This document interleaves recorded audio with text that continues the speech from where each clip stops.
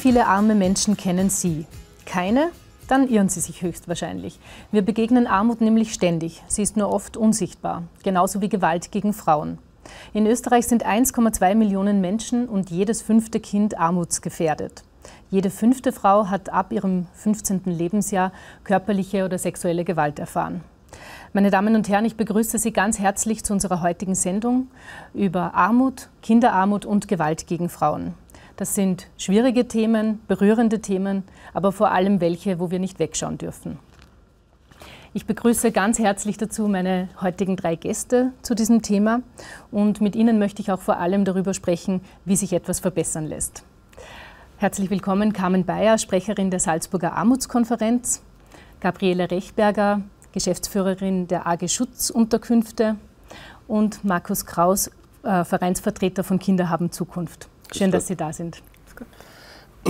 Ich würde vielleicht gleich mal um eine kurze Eröffnungsrunde bitten. Ähm, können Sie mir sagen, was in Ihrem jeweiligen Feld aktuell das brisanteste Thema ist, beziehungsweise was Sie persönlich dabei am meisten beschäftigt? Gerne vorweg nochmal vielen lieben Dank für die Einladung. Ähm, das Jahr 2021 war natürlich auch bei uns sehr stark geprägt von der Pandemie. Hinzu kommt, zu Jahresbeginn hat sich in Salzburg ein neues Gesetz ergeben, nämlich der Übergang von der Mindestsicherung zur neuen Sozialunterstützung, wo es natürlich auch viele Veränderungen für Betroffene, für Armutsbetroffene gegeben hat. In Zusammenhang mit der Pandemie kann man sagen, das war das Thema des Jahres 2021 und begleitet uns natürlich auch ins neue Jahr hinein. Danke auch aus meiner Seite von der An für die Einladung. Ähm, wir arbeiten noch derzeit an den Aufarbeitungen der großen Probleme aus 2021 und es sind vor allem Themen, wo es um die soziale Absicherung der Frauen geht, die von Gewalt betroffen sind, ähm, aber auch die äh, Maßnahmen, die Gewalt eindämmen sollen und natürlich auch die Finanzen, die, äh, die Beratungsstellen, die äh, Frauen mit Gewalt beraten, also mit Gewalterfahrung beraten oder auch die Familienberatungsstellen, Obsorgeberatung. Also da knappern wir noch richtig dran, das Jahr 2021 aufzuarbeiten. Ja, für den Verein Kinder haben Zukunft kann ich sagen, dass unsere Arbeit nicht kleiner wird, nicht leichter wird. Und so wie die beiden Vorrednerinnen schon gesagt haben, die Pandemie hat hier eine Verstärkung gezeigt und die Aufgaben sind gewachsen. Sie haben sich aber auch ein bisschen verschoben in unseren Tätigkeitsfeldern, aber das werde ich dann noch ausführen. Danke sehr. Frau Bayer, wann gilt man denn in Österreich eigentlich als arm? Also es ist eine recht einfache Frage, die leider eine relativ komplexe Antwort braucht, denn Armut hat sehr viele Gesichter und Sie haben es im Intro schon angesprochen. Armut ist vor allem ganz oft unsichtbar, weil die Betroffenen Armut nicht herzeigen wollen. Wir sprechen da ganz oft von Scham. Wir wissen, Armut hängt immer ganz eng zusammen mit vielen, vielen Vorurteilen, die Armutsbetroffenen an den Kopf geworfen werden. Wenn man es jetzt auf rein die Einkommensarmut herunterbrechen möchte, da gibt es so einen Schwellenwert, ob dem man sagt, ab dem ist man armutsgefährdet. Das ist für alleinstehende Personen liegt er bei rund 1300 Euro pro Monat. Der Wert steigert sich dann pro Familienangehörige, pro Haushaltsgröße. Sich rein aufs Einkommen zu beziehen reicht aber nicht, weil Armut ist immer eben, wie erwähnt, ein im sozialen Kontext zu interpretieren. Das heißt, wir schauen uns im nächsten Schritt da an, was kann ich mir mit diesem Einkommen leisten, was geht sich da aus? Da hat man dann Werte wie, kann ich mir überhaupt spontane Ausgaben bis 1200 Euro leisten, ohne gravierende Probleme zu bekommen? Kann ich mir eine warme Mahlzeit leisten? Kann ich mir gute äh, Mahlzeiten leisten. Also ob es jetzt vegetarisch oder Fleischkonsum ist, aber ist es ausreichend Nahrung, ist es qualitativ hochwertige Nahrung, kann ich meine Wohnung angemessen heizen und, und, und. Also da reden wir wirklich von existenziellen Dingen, die eigentlich ein Menschenrecht sein sollten, das aber für viele Menschen zum Teil nicht gut erreichbar ist. Und dann sind wir nämlich schon beim nächsten Schritt von Armut. Armut ist immer Eingrenzung von Möglichkeiten. Es ist immer eine Einschränkung von Teilhabechancen, ob das ein Kind ist oder eine ältere Frau. Armut geht immer einher mit sozialen Rückzug, weil man es sich eben nicht mehr leisten kann, mit Freunden ins Café zu gehen oder den regelmäßigen Kinobesuch oder die Geburtstagsfeier fürs Kind. Das heißt, Armut ist so vielfältig, so divers, aber es zeigt sich eigentlich immer im sozialen Kontext ganz stark. Man hört ja auch immer wieder von Sozialeinrichtungen, dass Armut strukturelle Gründe hat. Ähm, wie würden Sie das aber jetzt jemandem gegenüber argumentieren, der von Kindesbeinen an lernt, dass jeder selbst seines Glückes Schmied ist? Ja, diese Redewendung hat sie leider ziemlich äh, beliebt gemacht. Allerdings kann ich da nur erwidern, okay, man muss schon ziemliches Glück gehabt haben, um ein gutes Leben führen zu können, weil wir sind soziale Wesen, wir sind nicht allein für unser Leben verantwortlich, das geht da gar nicht. Es, die erste, der erste Glücksmoment ist, in welche Familie bin ich geboren, in welchem Land bin ich geboren. Und es geht dann immer weiter. In der Schule beispielsweise habe ich Lehrer, die mich unterstützen oder tue immer schwer beim Lernen und habe vielleicht Lehrer, mit denen ich nicht gut zusammenkomme. Trage da vielleicht dann wirklich eine Abneigung gegen Schule mit mir mit, die mir längerfristig ein Berufsleben dann wieder Möglichkeiten kostet. Das sind lauter Dinge, die kann ich eigentlich als Individuum alleine ganz schwer beeinflussen, unabhängig davon, wie fleißig oder engagiert ich bin. Wenn man dann ins Erwachsenenleben übergeht, wir haben es jetzt eigentlich hautnah alle erlebt, die Pandemie. Die Pandemie hat für viele Menschen gravierende finanzielle Einschränkungen mit sich gebracht, hat zur Arbeitslosigkeit geführt. Und da war es völlig egal, wie fleißig oder wie motiviert dieser Mensch war. Wenn eine Gesundheitskrise ausbricht und dann ein Lockdown kommt, trifft es uns alle. Dennoch muss man gleich vorwegstellen, die Pandemie hat trotzdem nicht alle Menschen gleichermaßen getroffen. Trotzdem sind wir abhängig von anderen, von Glück, von Zufällen. Und damit hat sie dieses Argument, jeder ist seines Glückes Schmied, eigentlich schon aufgehoben. Ein anderes Beispiel gibt es im Gesundheitsbereich, also auch Krankheiten. Sie haben jetzt schon die Pandemie angesprochen. Ähm, die Armutskonferenz Österreich hat eine sehr interessante Studie publiziert, ja. aktuell, und zwar zum Thema Armutsbetroffene und die Corona-Krise. Äh, darin wird die soziale Lage der Betroffenen ähm, aus ihrer Sicht erhoben. Was sind denn da die interessantesten Ergebnisse, vielleicht ganz kurz aus dieser Studie? Äh, diese Studie ist eben deshalb so wichtig, weil, wie Sie sagen, Betroffene sind selbst um ihr Statement gebeten worden. Es war eine qualitative Erhebung, wo viele, viele Gespräche geführt worden sind. Und ein essentieller Punkt ist eben, dass herausgearbeitet wurde, dass die Pandemie nicht alle Menschen gleich getroffen hat. Wir leiden alle unter ihr, aber eben nicht gleichmäßig verteilt. Das sieht man eben am, am Faktor Einkommen. Wer vor der Pandemie ein geringes Einkommen gehabt hat, den haben natürlich Kurzarbeit und Arbeitslosigkeit viel stärker getroffen, weil der Ausgangswert ja viel niedriger war, wie bei einem unselbstständig Angestellten, der, weiß ich nicht, 2000 Euro verdient hat. Tut dann ein paar hundert Euro weniger, in Kurzarbeit weniger weh. Zugleich haben wir gesehen, Menschen in prekären Anstellungen, HilfsarbeiterInnen, die vielleicht so schon wenig finanzielle Mittel zur Verfügung gehabt haben, die waren die ersten, die in die Arbeitslosigkeit geschickt worden sind. Also hier wieder nicht nur 10, 20 Prozent Einbuße durch Kurzarbeit, sondern 55 Prozent Nettoersatzrate. Da sieht man die gravierenden Unterschiede und wieder bis hin zu den SchülerInnen zieht sie das durch.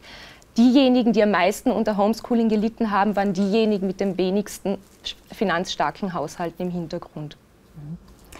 Frau Rechberger, die Pandemie, haben wir gerade schon ja. gesprochen, ähm, hängt natürlich auch stark zusammen mit den Lockdowns. Äh, Im vergangenen Jahr wurden die Menschen monatelang äh, amtlicherseits sozusagen in ihre Wohnungen verbannt. Ähm, und es gab nur die berühmten vier Gründe, das Haus zu verlassen. Wobei ich sagen möchte, ein wichtiger wurde dabei vergessen, nämlich dann, wenn es zu Hause zu gefährlich ist. Weil es ja nicht so ist, dass jede Frau und jedes Kind in Österreich ähm, zu Hause in den eigenen vier Wänden einen sicheren Rückzugsort vorfindet. Mhm. Ähm, Sie als Geschäftsführerin der AG Schutzunterkünfte, was haben Sie denn für Erfahrungen gemacht? Ähm, inwiefern haben die Lockdowns häusliche Gewalt beeinflusst? Ähm, die, der Lockdown, also egal jetzt welcher, hat äh, die häusliche Gewalt insofern äh, beeinflusst, ähm, dass äh, zum Beispiel vermehrt Nachbarn mitbekommen haben, wenn es in den äh, Familien oder in der Beziehung äh, Konflikte gibt, die zum Beispiel lautstark ausgetragen worden sind oder wenn es ihm zu ähm, Übergriffen gekommen ist, also körperliche Gewalt bzw. seelische Gewalt. Und ähm, die Leute haben dann schon vermehrt auf das reagiert und haben dann zum Beispiel auch öfters einmal die Polizei gerufen oder auch, äh, andere Aktivitäten gesetzt, zum Beispiel immer in Beratungsstellen angerufen. Ich kriege mit, dass bei meinen Nachbarn ständig äh, Konflikte gibt, äh, Streitereien. Ich höre auch immer wieder Kinder schreien, die Frau schreien. Was kann ich tun? Und wir haben natürlich jetzt über sehr viele Jahre Erfahrung in der im Thema Gewalt in Beziehungen oder innerfamiliäre Gewalt und wir haben schon bemerkt, dass die Leute viel mehr darüber sprechen Das ist auch äh, Teil, also äh, teilweise diesen Kampagnen geschuldet, die eine andere Sensibilisierung äh, bei der Bevölkerung hervorruft. Und äh, wir haben auch sehr viele Anrufe äh, gehabt während äh, den Lockdowns. Was kann ich tun? Ähm, mein Partner oder die männlichen Familienmitglieder äh, setzen mich unter Druck und wir haben auch äh, viel, viel mehr Beratungen gehabt wie vorher. Also die Wahrnehmung von Gewalt hat sich verändert und auch der Umgang damit. Gibt es eigentlich eine Verschränkung zwischen Armut und Gewalt? Also sind jene Frauen, die äh, Zuflucht in den Schutzunterkünften suchen, auch oftmals armutsgefährdet oder von Armut betroffen?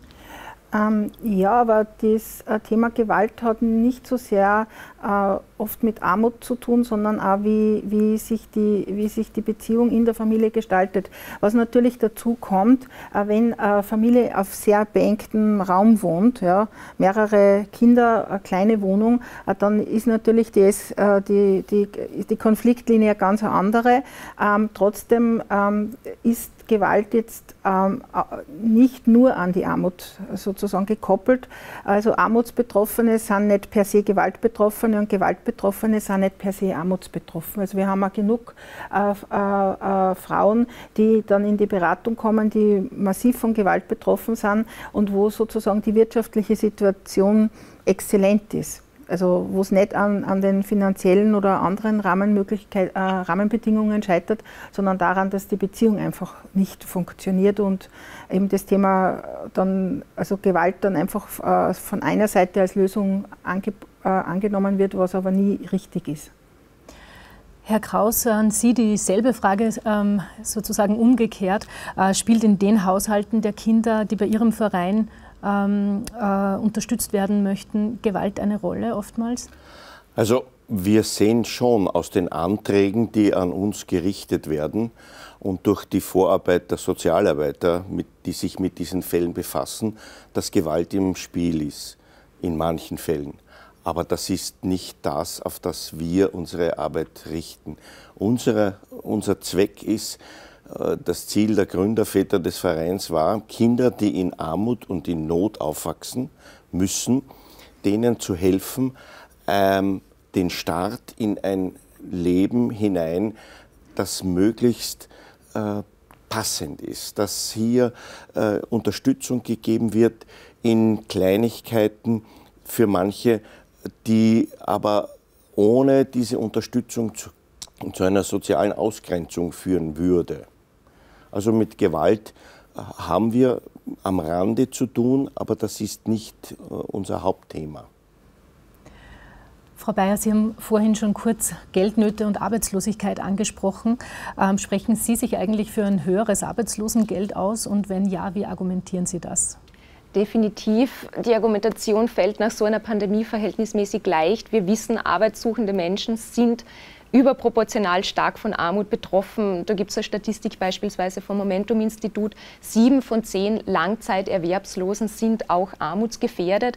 Natürlich bei einer Nettoersatzrate von 55 Prozent und da wieder der Verweis drauf, eben, wenn ich vorher schon nicht viel verdient habe, sagen wir mal 1200 Euro netto, dann ist die Hälfte davon fatal und dann auch noch der nächste Schritt ist, diese Menschen stocken dann eben mit der Sozialunterstützung auf, die quasi das allerletzte soziale Netz ist. Sprich, ich muss nicht nur zu einer Behörde, sondern zu zwei Behörden und da die ganzen Nachweise vorlegen, den ganzen bürokratischen Prozess durchlaufen.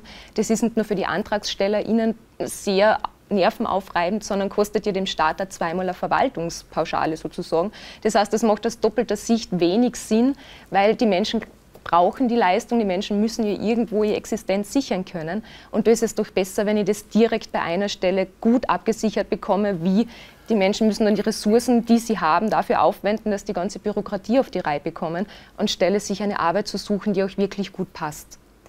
Wir wissen ja, die Gefahr, in Armut abzurutschen, ist besonders groß bei Langzeitarbeitslosigkeit. Was braucht es denn da aus Ihrer Sicht? Ganz viele unterschiedliche Initiativen und Beschäftigungsprojekte.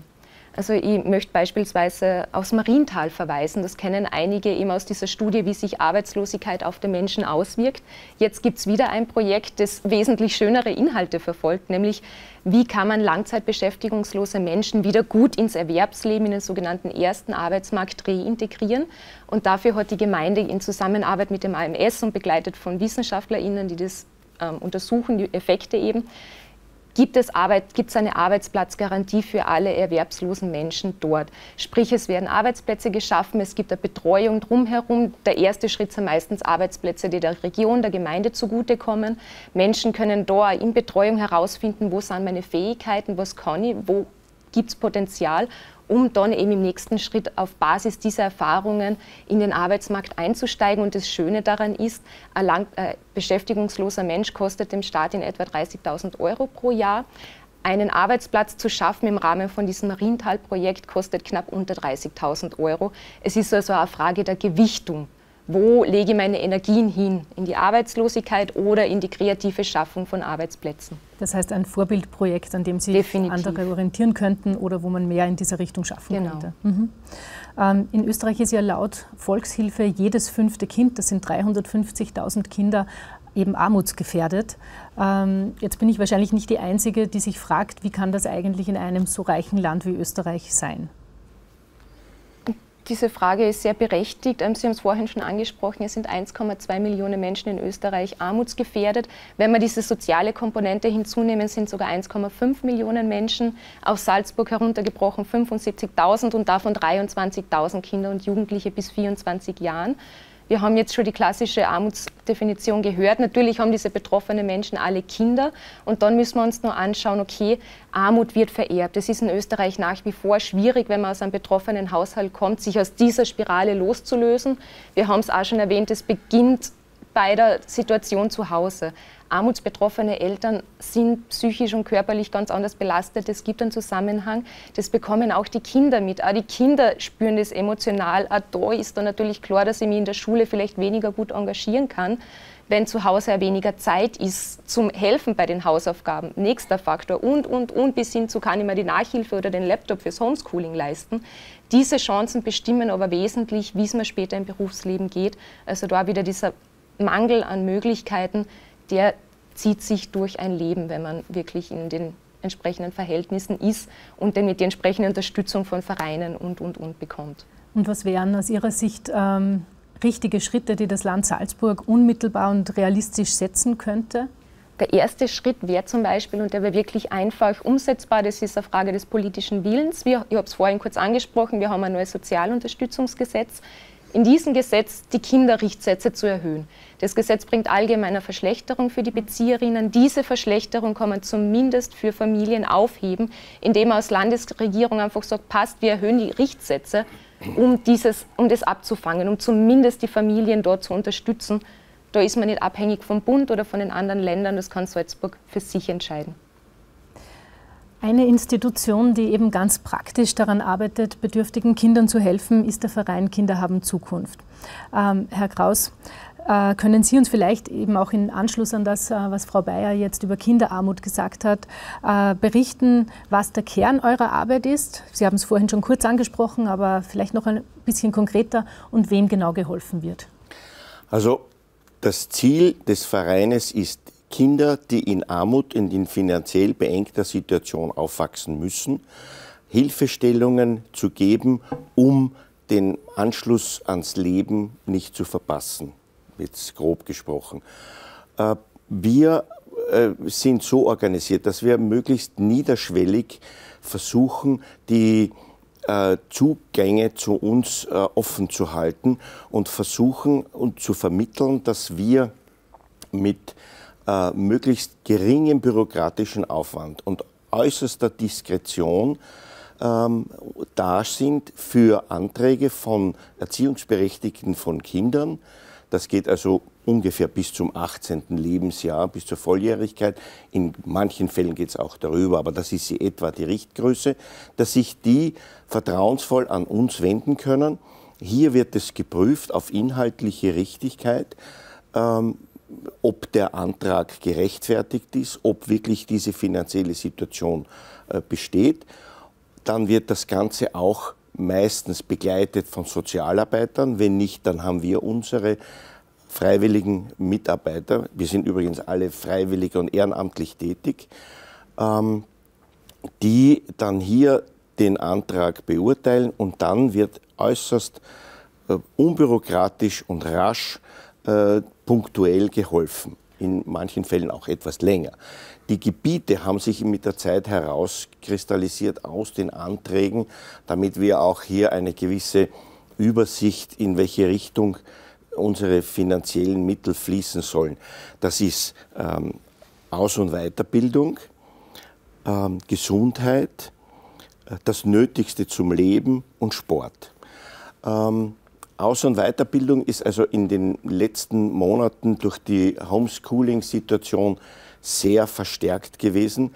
Äh, korrespondierend dazu natürlich genau das Gegenteil. Sport ist fast zurückgegangen, weil die Vereine nicht tätig sein konnten.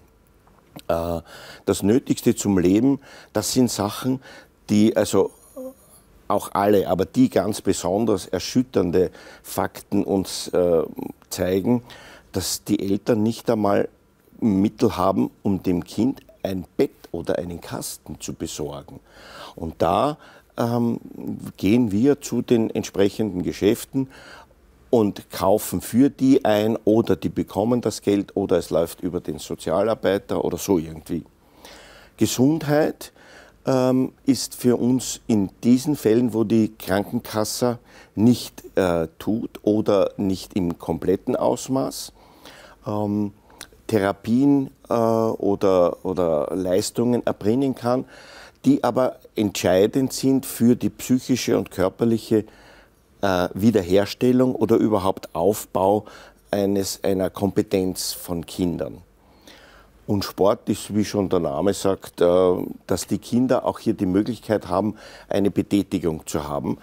Ähm, da sind wir zum Beispiel tätig für ähm, Vereine, Fußballvereine, dass sie dort ein Dress bekommen, dass die Kinder die Möglichkeit haben, eine Sportwoche zu machen. Äh, da unterstützen wir, ähm, weil das Land hier Aktivitäten zurückgefahren hat und die Eltern nicht so viel Urlaub haben, um die Kinder in den Sommerferien zu beaufsichtigen, zu beschäftigen oder ihnen etwas bieten zu können. Und da sind wir dazu da. Und wie erwischt man sie? Wie kommt man zu ihnen, wenn man ihren Verein braucht? Ja, also da ähm, ist es so, dass wir im Internet äh, vertreten sind. Da gibt es also die Homepage Kinder haben Zukunft. Da sind alle Telefonnummern und E-Mails-Adressen. Aber es gibt auch ähm, an, äh, wir haben freiwillige Mitarbeiter, die äh, in den verschiedenen Gemeinden und Bezirkshauptmannschaften äh, bei den Kinder- und Jugendämtern äh, Informationen abgeben, Flyer, in äh, Auslagen von Geschäften oder in Arztordinationen oder, oder, oder. Was wir, wenn jemand uns spenden will, das übrigens noch ist, wir finanzieren uns ausschließlich aus Spendengeldern. Und wer uns etwas zukommen lässt, da kann, ich garantieren, äh, dass wir, wir haben das Spendengütesiegel, dass wir diese Mittel zu 100 Prozent an die äh, Zielgruppe weitergeben können.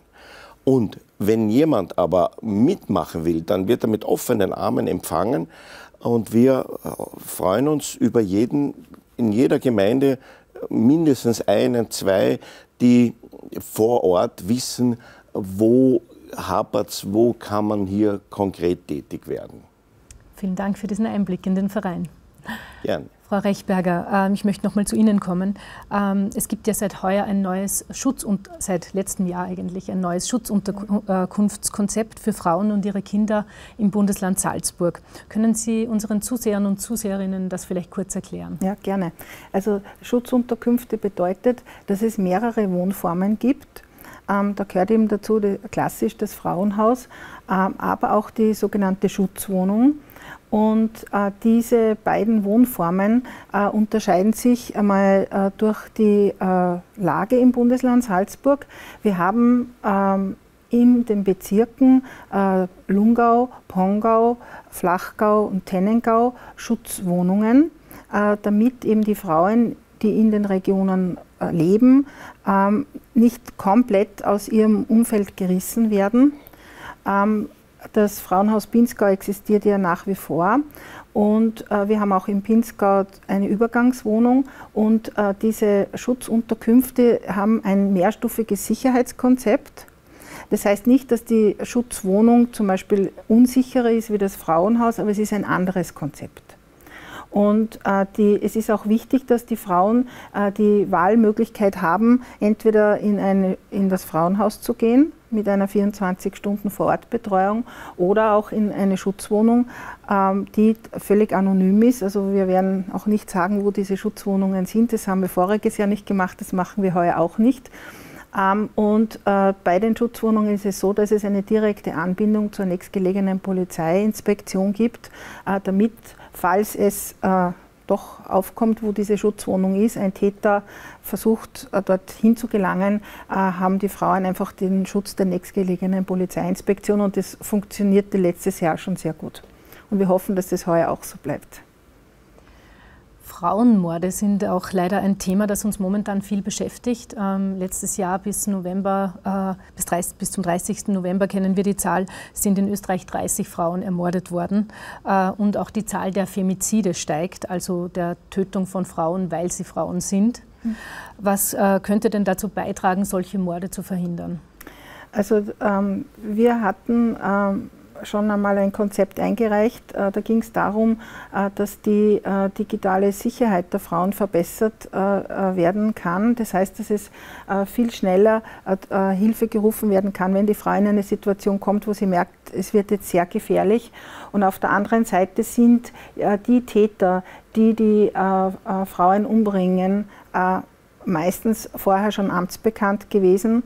Ähm, und seit 1. September 2021 gibt es ja diese Gewaltpräventionseinrichtungen, äh, zu denen die Täter, die Wegweis äh, weg aus den Wohnungen gewiesen wurden, äh, hingehen müssen zu einer Beratung. Ist eine verpflichtende Beratung. Das wird auch sanktioniert, wenn sie nicht hingehen.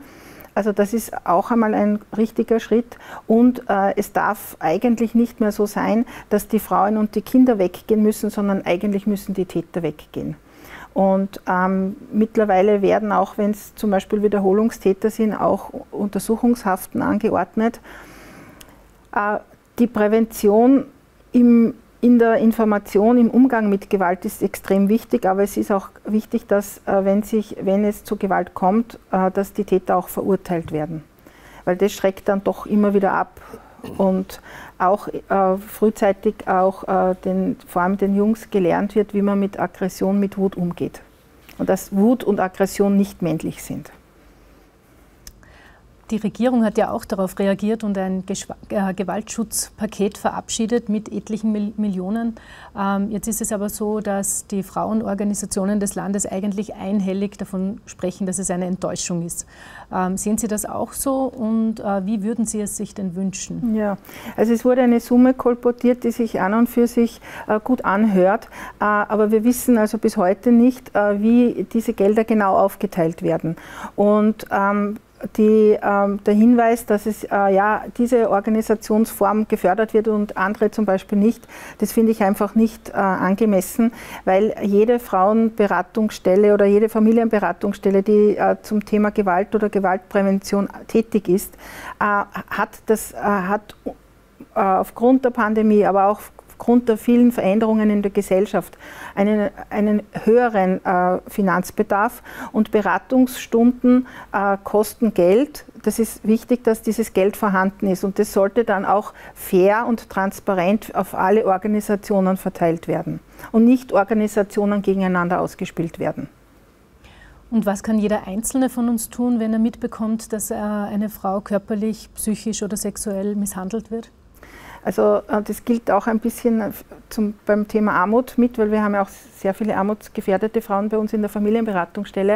Äh, nicht wegschauen, hinschauen und überlegen, äh, was kann ich als Individuum tun, damit das nicht passiert. Beim Thema Gewalt sage ich immer, 133 die Polizei anrufen ähm, und bitte nicht selber eingreifen. Das kann dann mitunter sehr gefährlich werden.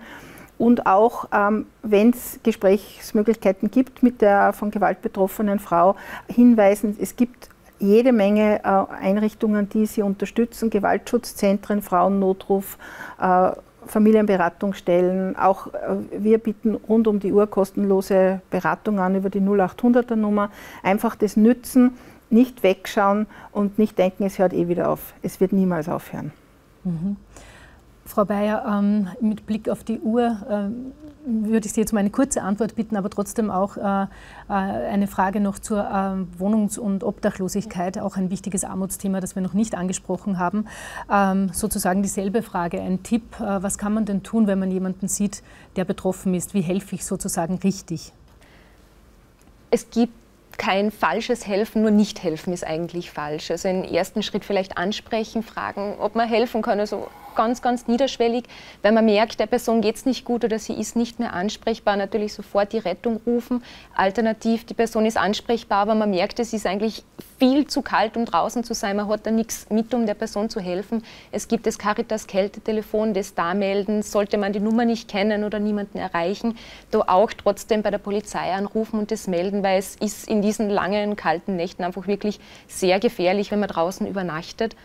Der nächste Schritt ist natürlich ehrenamtlich sich zu engagieren. Da gibt es das Freiwilligenzentrum in Salzburg. Das ist die ideale Anlaufstelle. Da kann man wirklich mit einer Beraterin abgleichen, was passt zu mir, wofür habe ich die Ressourcen, wie kann ich helfen. Oder natürlich der ganz klassische Weg über Spenden. Wir haben in Salzburg viele ein paar ähm, Notschlafstellen in unterschiedlichen Formen.